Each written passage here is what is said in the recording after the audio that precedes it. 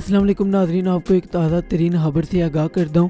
لڑائی آبد شیر علی اور مراد سعید کی تھی، لیکن مار رشید گوڈیل کو پڑ گئی۔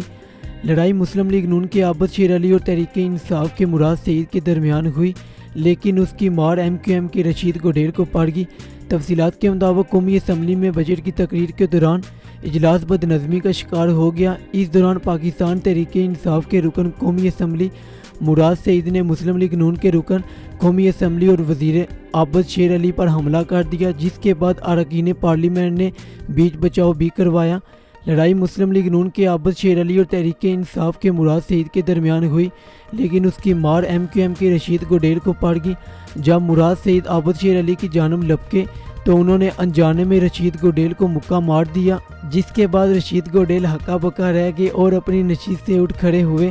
گویا وہ پوچھ رہے ہوں کہ مجھے کیوں مارا، مجھے کیوں مارا؟ تو ناظرین، آپ اس پر کیا رائے رکھتے ہیں؟ اپنی رائے کے اس ہمیں کومنٹ باکس میں دیں۔ اس ویڈیو کو لائک اور شیئر کرنا مت بھولیں۔